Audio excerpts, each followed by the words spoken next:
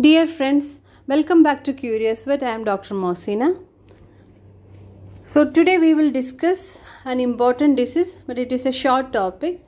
And this disease is very important as far as race horses, especially thoroughbred horses, are uh, having this uh, more incidence of this condition. So let's begin today's topic: exercise-induced pulmonary hemorrhage in horses. So EIPH, epistaxis or bleeder, is seen in most race horses and in many other horses used in equine sports like polo, barrel racing, etc. that require strenuous exercise for short periods of time.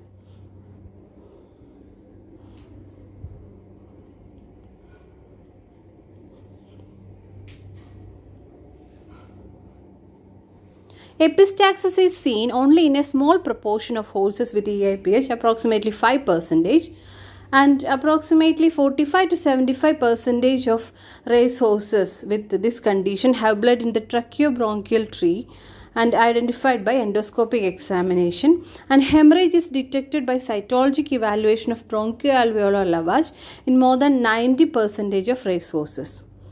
Coming to the etiology.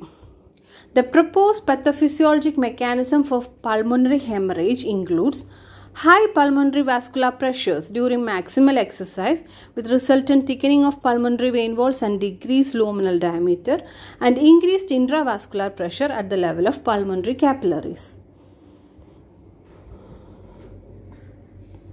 So this is the proposed pathogenesis of EIPH.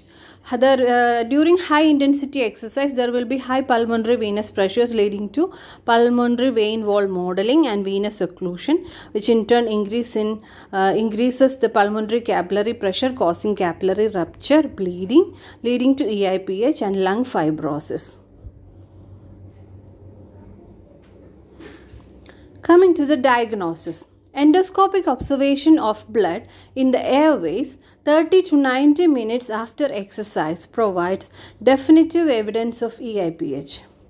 Other sources of hemorrhage in the upper airway, particularly guttural pouch, pouch mycosis and ethmoid hematoma, must be excluded during the endoscopic examination.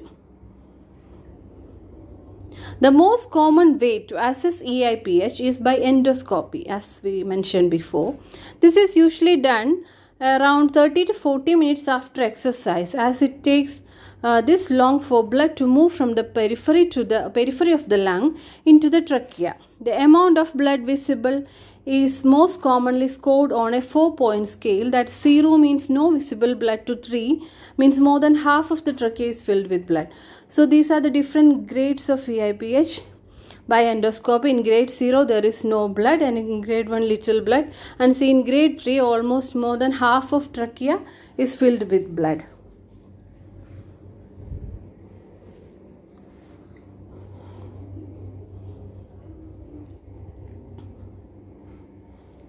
If EIPH is suspected and the horse cannot be examined after exercise, a cytologic examination of bronchoalveolar lavage for semi-quantitative assessment of hemosiderophages is diagnostic and these hemosiderophages uh, stain uh, stains that highlight uh, the iron containing pigments like Prussian blue facilitate recognition of these cells.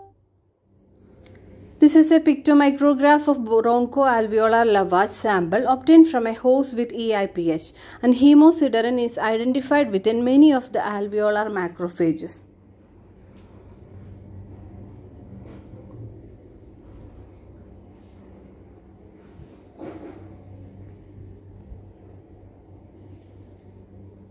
Thoracic radiography demonstrates alveolar or mixed alveolar interstitial opacities in the caudodorsal lung fields.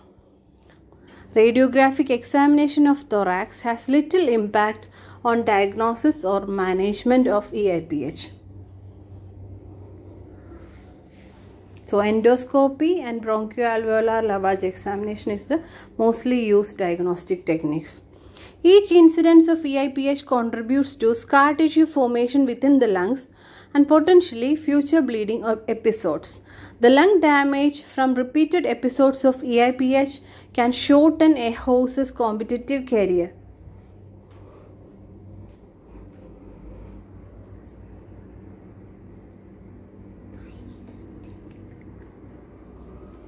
Repeated bouts of EIPH leads to scarring of lung and the deposition of iron deposits known as hemosiderin which have a grey-blue appearance as shown in this picture. The damaged lung tissue does not have a normal function as it is stiffer than healthy lung and does not allow efficient gas exchange. Also the damage is irreversible. So here you can see the difference between a healthy lung and lung damaged by EHPH, EIPH in horses can see the grayish discoloration of lung due to the deposition of hemosiderin pigments and uh, this change to the liver is irreversible and it will reduce the lung capacity. Coming to the treatment and control, furosemide reduces the incidence and severity of EIPH in thoroughbred race horses.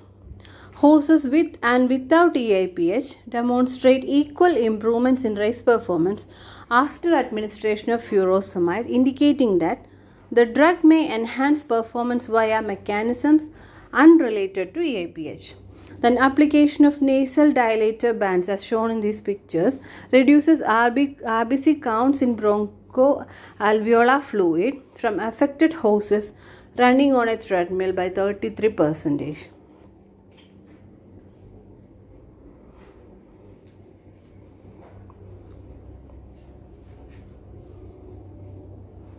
Alternative treatments including procoagulant agents, antihypertensive drugs, rheologic agents, bronchodilators, prolonged rest, dietary supplements, and anti-inflammatory drugs have not demonstrated any therapeutic benefits.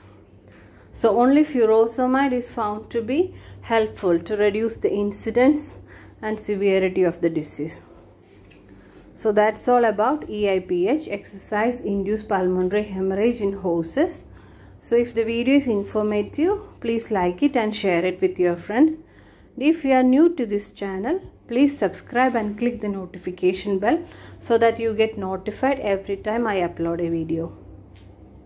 And please comment your suggestions also. See you soon with another video. Thank you.